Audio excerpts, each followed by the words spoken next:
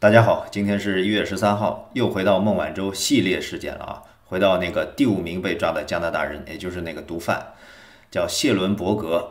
在一月十四号，北京时间一月十四号，被大连市中级人民法院一审以走私毒品罪判处死刑，并处罚没个人全部财产。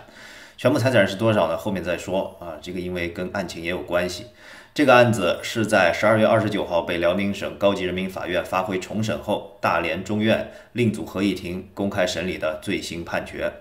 好，先让我们来梳理一下案情。大连中院经审查查明，这个贩毒团伙有三个人为主，分别是凯姆、史蒂芬和周先生。啊，注意啊，不是史蒂芬周，而是史蒂芬和周先生，以这三个人为主，形成了一个国际贩毒的一个团伙。他们呢控制中国境内平安银行、招商银行有两个账户，为毒品犯罪呢提供这个资金支持周转。二零一四年的十月中旬，这个凯姆雇佣了一个姓许的翻译，然后在二零一四年十一月十九号，凯姆就指派这个主人公谢伦伯格，加拿大人，到大连准备将毒品重新打包藏在轮胎里，走私到澳大利亚。然后呢，这个谢伦伯格啊，注意这段描述比较重要。谢伦伯格就干了什么呢？他要求购买用于将毒品和轮胎重新包装的工具，比如说隔成一小格，把那个毒品塞在轮胎的内胎里，然后订购轮胎、订购内胎、订购二手集装箱。随后，谢伦伯格就查看货物，评估工作量啊，觉得这个事儿工作量很大，觉得船期由十一月底。实在来不及，于是改到了十二月，可能在十二月中旬左右。结果在二零一四年十一月二十九号，凯姆雇佣的翻译徐某发觉这个情况不对，他就向公安机关报案，他就觉得这这一群人在贩毒。然后这个主人公谢伦伯格就察觉了，于是，在十二月一号的凌晨离开酒店，前往大连机场，准备逃往泰国。然后呢，途中还换掉了 SIM 卡，但是他经停广州的时候被抓获。这个案件从二零一四年十二月谢伦伯格被抓到二零一八年十一月二十号大连中院一审判决，整整过了四年时间。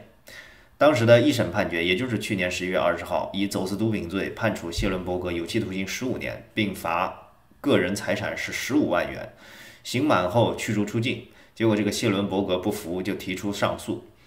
好，再来看看这个案件中，除了谢伦伯格以外，其他人在干嘛？这个翻译徐某一开始为凯姆呢，除了当翻译，凯姆还让徐某到大连租赁仓库订购轮胎，接收这个周先生和简祥荣从广州运往大连的藏有二十二包冰毒的二十吨塑料颗粒，并且放入仓库。这个简祥荣的情况咱们后面再说。同时呢，凯姆也通知徐某。将委派一名外籍人士处理这批货物，也就是谢伦伯格。就在十一月十九号，谢伦伯格受凯姆指派到大连与徐某会合，然后将毒品准备藏在轮胎内，走私到澳大利亚。然后，也就是徐某带领谢伦伯格在大连买了用于将毒品和轮胎重新包装的工具，订购轮胎、内胎、二手集装箱，然后他去查看货物。然后他又给另外一个人叫麦庆祥，这个人的后情况我们也后面再说。要求麦庆祥帮他找仓库，然后麦庆祥就找了，结果呃仓库可能也没有找好，然后毒品也没有藏好。二十九号，徐某因为可能害怕，就向公安机关报案了，然后就发生了开头的那一幕。据新加坡南华早报报道，这个谢伦伯格在一四年被捕，并且受到了一个秘密的审判。辽宁省高院呢？就在官方网站上只刊出过一个通告，呃，大连中级人民法院曾经在二零一六年的三月十五号对这个案件进行过审理，在二零一六年开庭审理这个案件两年半以后，二零一八年的十一月二十号才一审判决，在谢伦伯格被宣判十五年的判决十天以后，也就是十二月一号，孟晚舟被抓。在孟晚舟被抓了一个月以后，也就是十二月二十九号，这时候谢伦伯格应该还在很辛苦的上诉，觉得自己很冤枉。结果辽宁省高级人民法院就开庭审理了这个案子，因为他在上诉。然后辽宁检察院就认为这个被告人谢伦伯格他属于从犯或者是犯罪未遂而被作出的从轻处罚明显不当，并且指出中国公安部门又掌握了新的线索。显示谢伦伯格极有可能参与了有组织的国际贩毒活动，啊，在贩毒过程中起了重要的作用，建议发回重审。然后这时候，大连市人民检察院又及时的补充了新的犯罪事实，而这一次检察院补充的新的犯罪事实，公安机关掌握的新的线索，到大连中级人民法院再一次重审，一共也就俩礼拜。就二零一九年一月十四号，中级人民法院认定这个谢伦伯格参与有组织的国际贩毒活动，走私冰毒两百二十二公斤。呃，并且是犯罪事实清楚，证据确凿，谢伦伯格是主犯且犯罪既遂。呃，也就是一个月一个多月前，大连中院说谢伦伯格是从犯，犯罪未遂，因为毒品没有运出去。也就是说，在不到两个月的时间内，谢伦伯格由一个从犯，犯罪未遂，并且判处十五年，他认为很重，还要上诉，追求更轻的刑罚。来了一个惊天逆转，变成了一个主犯和既遂，而且直接被判处死刑。对于他来说，这两个月的人生可以说走的就像放电影一样。那对于这样的判决呢，中国官媒啊，中国国内的媒体就表示，遵守了程序正义。案件审理期间，人民法院依法保障了被被告人在诉讼过程中的辩护、翻译各项权利。依照规定通知了加拿大驻华使馆，该馆官员到庭旁听，各界群众、部分中外媒体啊，呃，记者五十余人旁听了宣判。而且中国的媒体上也反复渲染，这个外国人死刑在中国早有先例。呃，二十一世纪以来，多名外国人因为走走私毒品而被判处死刑，其中日本人就有六个人。而比较有名的是二零零九年的英国公民阿克毛。被中国法院判处死刑，引起西方强烈关注。因为时任英国首相布朗亲自为阿克毛求情，还是被执行了死刑。在辽宁高级法院宣布重审以后，外界就猜测极有可能是加重刑罚。那么在加重刑罚呢？一共只有有期徒刑的二十年比十五年高，然后就是无期徒刑或者死刑。当时结合孟晚舟的情况，结合中国的法律的这个条文。很多的律师认为，呃，这个谢伦布格很可能会被判处死刑，因为中国的法律规定上诉不能加刑，只能是如果你要加刑，只能发回重审，对新的犯罪进行重新起诉才有可能加刑。所以辽宁高院既然是发回重审，很可能就是为了加刑。那加的话，很可能已经没有多少加的余地，而结合孟晚舟事件，大家猜测可能加的会很重。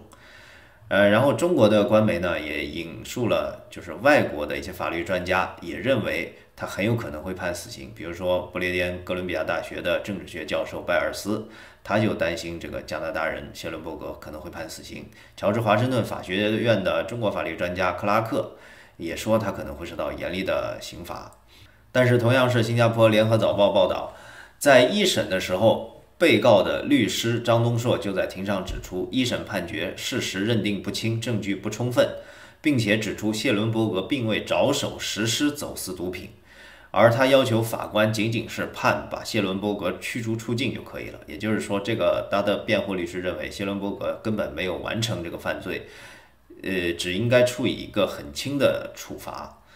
所以我们来整理这个案件的要点啊，这里面有七个人。有三个人在逃，就是凯姆、史蒂芬和周先生。这三个人可能是这个贩毒团伙的核心。徐某是凯某雇佣的翻译，也是报案人。有一个叫简祥荣的，是在二零一四年十一月中旬到十二月初，也就是谢伦伯格案发的前的那一次活动，他是两次雇车将混有装有毒品的货物从广州运到了杭州。另外一个是麦庆祥，麦庆祥呢就负责接运。接运的有很多人，他是其中之一。十二月五号，公安机关就将麦庆祥抓获，查扣了五百零一公斤的冰毒。也就是说，他负责接运的时候啊，他接运的是五百零一公斤，比这个谢伦伯格多出一倍还多。那么，这个简祥荣，也就是两次雇车将混有毒品的货物呃运到杭州的这个人，因为运输毒品罪、非法持有毒品罪，被判处无期徒刑。这个麦庆祥因运输毒品罪被另案判处死刑，但是缓期两年执行。那么我们再来看这个主人公谢伦伯格，他也是在二零一四年十一月十九号，也就是跟上述简祥荣、麦庆祥几乎是同一案发时间，他接受这个凯姆的指派到大连，准备将毒品走私到澳大利亚，然后他是要求购买工具，要求订购轮胎、内胎、二手集装箱。我们前文说过，是徐某去帮他买的，他是要求他买。然后谢伦伯格干了什么？查看货物，评估工作量，把船期改到十二月。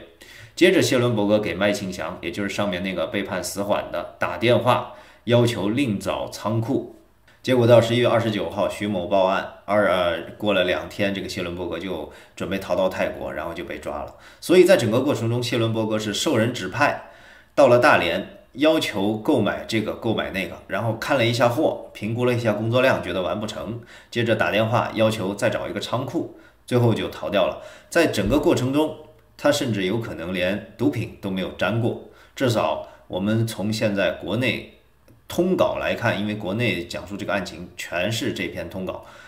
至少从国内的通稿来看，就只能看到他做了这些事儿，但是他却被判了有期徒刑十五年。也而且被罚没个人财产人民币也就十五万元，当然也可能是，呃，他的那个凯姆啊给他的境外账户在打钱，美元或者加币都可以，但是人民币只有十五万元，所以他的律师据此认为他这人就是非常的冤，参与了一个策划很大的活动，数额很大，但是其实他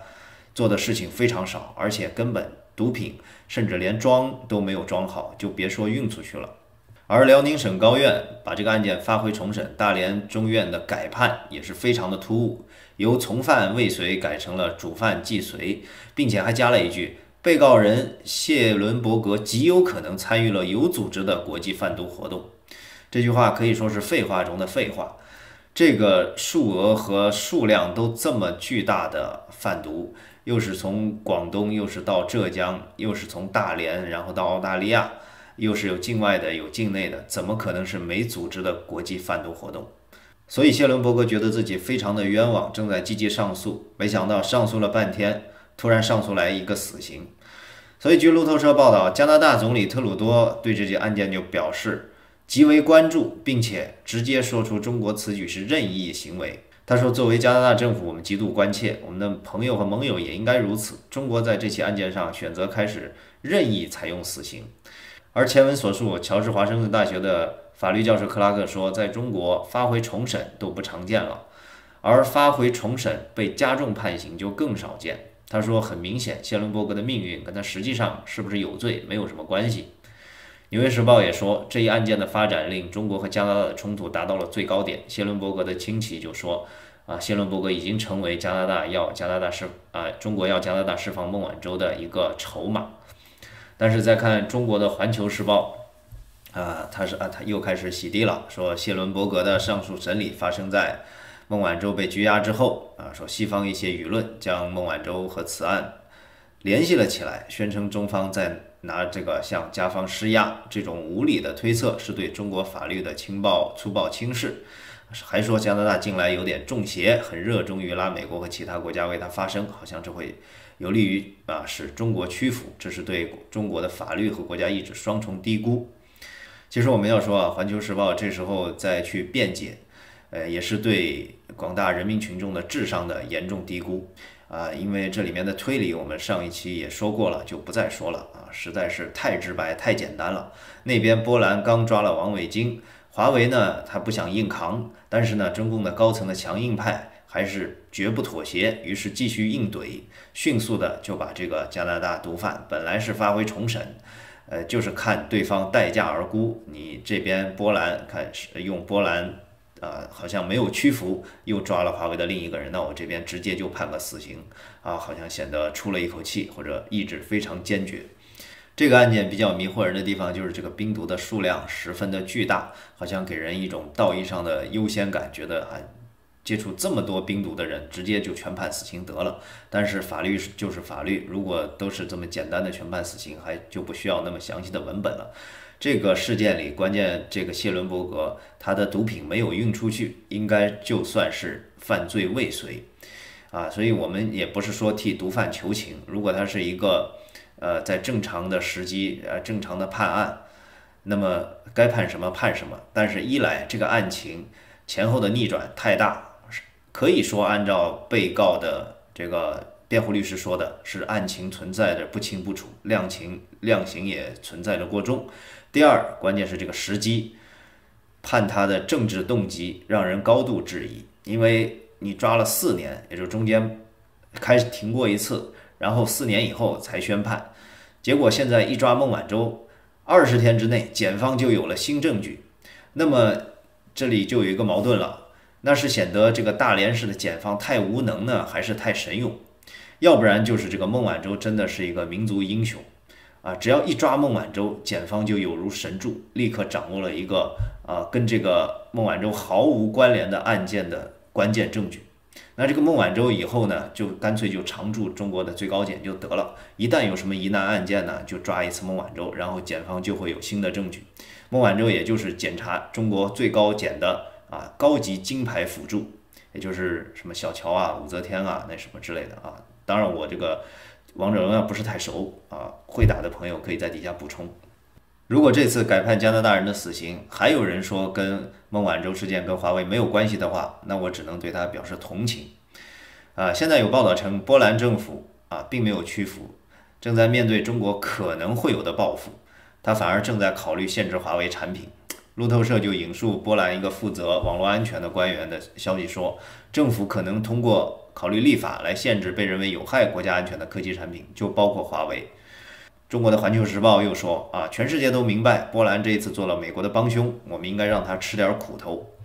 啊，我们上次也说过，为什么波兰不惧怕中国？啊，不惧怕中共，中共可能也不会对波兰形成什么有效的制裁。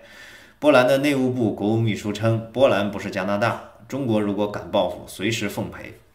上期我们讲奈何不了波兰，还漏了一条很简单的理由，就是波兰后面有整个欧盟在做后盾，而且它又是新加入北约的成员国，很可能它还会拉上北约。现在波兰的国务秘书他就是说，欧盟要和北约要立场一致，他的意思呢，可能是欧盟中有一些国家呢跟中国的关系比较好，不愿意参与这个欧盟。对中国的这种限制或者制裁，啊，也不愿意跟北约的立场一致。北约的立场应该算是对中国算比较强硬的。那么对华为的不利消息还有，下个月本来要在西班牙召开世界的 5G 大会，本来这个大会是中兴、华为，呃，扬眉吐气的一个秀场，现在呢，已经基本上被中国政府这种强硬的应怼的态度给基本玩完。更何况现在又来一个对加拿大人改判死刑，不是说毒贩就一定不能判死刑，而是西方本来他就百分之七十的西方国家废除了死刑。更何况这这起案件事实都不太清楚，而且是高度有政治动机的随意判案。结合前阵子中国最高法的卷宗失踪案，可以说现在中国司法的脸从国内丢到了国际，中国司法的形象也是浑身上下一片漆黑。似乎历史上从来没有这么坏过。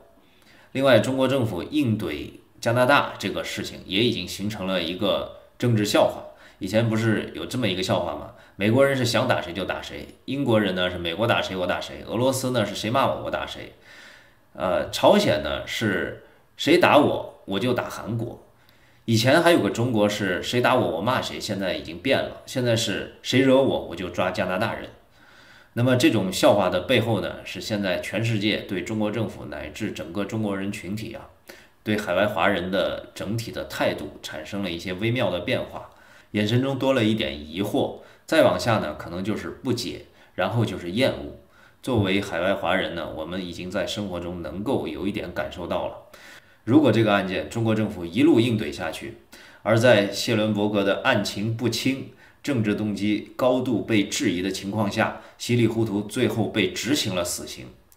啊，那么整个加拿大的舆论可能会沸腾，然后欧盟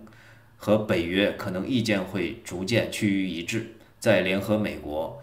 他们就形成了真正的一对中国非常有敌意的一个整体，最后可能会发生实质性摩擦，然后挑起第三次世界大战都有可能。不过我后来一想，第三次世界大战总有两个。盟邦，那么谁会跟中国结盟呢？所以我想了一下，可能不会是第三次世界大战，而是第二次鸦片战争。就是现在的中国的心态，好像非常想回到当年。这个倒退回当年，不是说倒退回毛时代，我觉得甚至倒退回慈禧时代。